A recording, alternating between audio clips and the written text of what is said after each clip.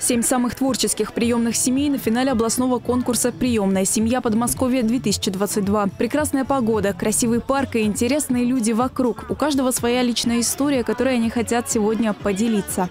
Сейчас здесь э, поистине уникальные такие семьи, приемные, очень творческие, очень э, такие э, с интересными своими историями.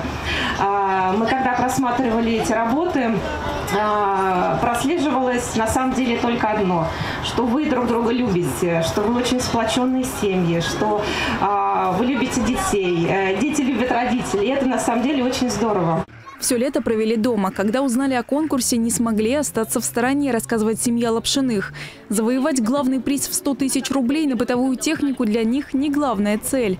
В первую очередь это отличная возможность сплотиться и провести незабываемое время вместе. Даже сам первый этап, что ты создаешь какой-то фильм о семье, и потом на всю жизнь останется такая память. Нас это с папой очень увлекло, и мы очень быстро что-то там сообразили, и даже как получилось, куда-то прошли. То есть сначала тебе кажется и немножечко лень, а когда ты начинаешь, то остановиться уже сложно. Потому что дети сами подпитывают, подпитывают, и интересно. Для детей этот фестиваль – настоящий праздник. Тут было все. От различных творческих мастер-классов и площадок для активных игр до тренингов по финансовой грамотности, заданий от психологов служб сопровождения замещающих семей и яркого концерта. День запомнится семьям надолго. Эмилия Арклян, телекомпания «Одинцова».